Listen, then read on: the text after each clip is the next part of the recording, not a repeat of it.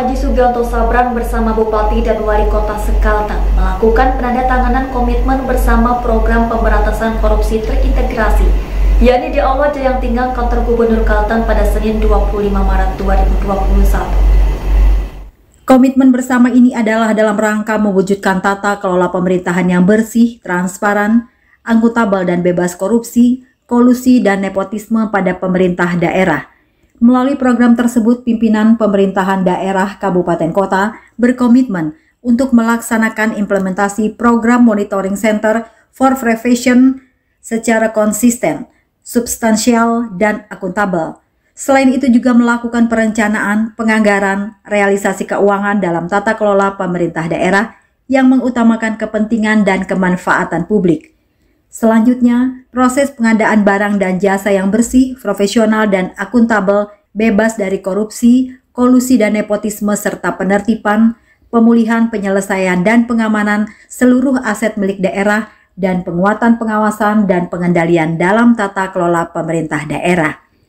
Dalam sambutannya Gubernur Kalteng Haji Sugianto Sabran menyampaikan, Pemprov Kalteng bersama-sama dengan pemerintah kabupaten kota sekalimantan Tengah memiliki komitmen kuat dalam upaya memberantas korupsi sebagai salah satu langkah untuk membawa masyarakat Kalteng menuju kondisi yang lebih baik. Uh, mengucapkan ribuan terima kasih kepada uh, KPK RI yang mana uh, melewati ano uh, wilayah tiga uh, yang mana di, di situ termasuk Kalteng di untuk di, di untuk dimonitor.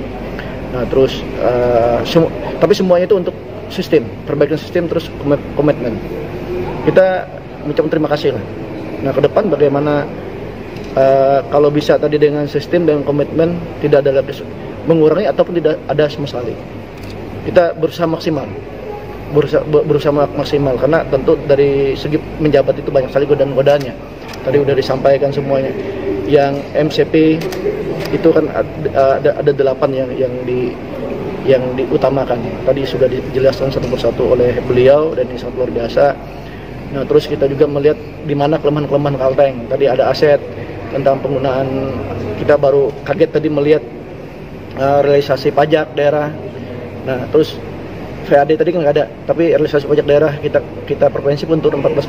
Nah, ini uh, semestinya tidak ada alasan di dalam namanya pajak tuh musim Covid pun semestinya tidak ada alasan ada apa masalahnya. Nah, ini tidak mengingatkan kita nanti uh, bagaimana sistem kita minta bantu dengan dengan pihak KPK karena di KPK juga ada yang dari kepolisian dari kejaksaan uh, bagaimana samsat bisa jadi rapi online sehingga mengurangi namanya pungli nanti ke depannya.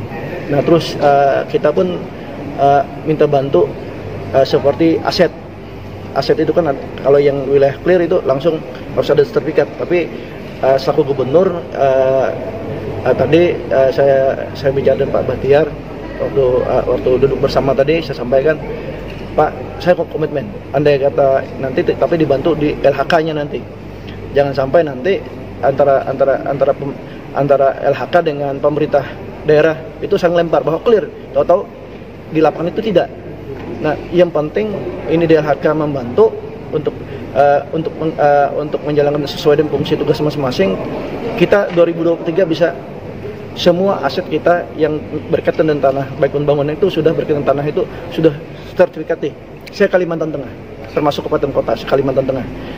Nah ini uh, nanti kita minta bantu di ranah situ. Nah dengan adanya uh, di wilayah pencegahan ini wilayah tiga ini dengan dengan Pak uh, Pak Betiar ini datang ke Kalimantan Tengah beliau. Paling tidak kan kita tahu tadi melihat kelemahan-kelemahan kita di mana sistem pemerintahan kabupaten kota. Nah ini harus mulai dari provinsi sendiri. Provinsi melakukan pembenahan selaku gubernur dan komitmen komitmen yang tinggi untuk melaksanakan sistem uh, sistem pembuatan sistem itu dulu. Nanti itu komitmen tergantung masing-masing. Ya saya selaku gubernur pribadi tergantung pada bupati wali kota Kalimantan Tengah setelah sistem dibuat. Karena ini tergantung manusianya. Di mana pun sistem yang bagus, tapi kalau manusia memang nakal, ya tetap aja nakal. Nah, itu. Sugianto berharap agar KPK bersama BPKP dapat terus melakukan pendampingan kepada pemerintah provinsi dan kabupaten kota dalam rangka manajemen aset daerah. Turut hadir pada kegiatan tersebut Ketua DPRD Provinsi Kalteng Wiyatno, Sekretaris Daerah Fahrizal Fitri, Bupati Wali Kota Sekalimantan Tengah. Direktur Koordinasi dan Supervisi Wilayah 3 KPK Brigjen Polisi Bahtiar Ujang, dan sejumlah kepala perangkat daerah Provinsi Kalimantan Tengah, serta Kepala Perwakilan BPK Kalteng Setia Priya Husada. Dari Kota Palangkaraya, Muhammad Nur melaporkan.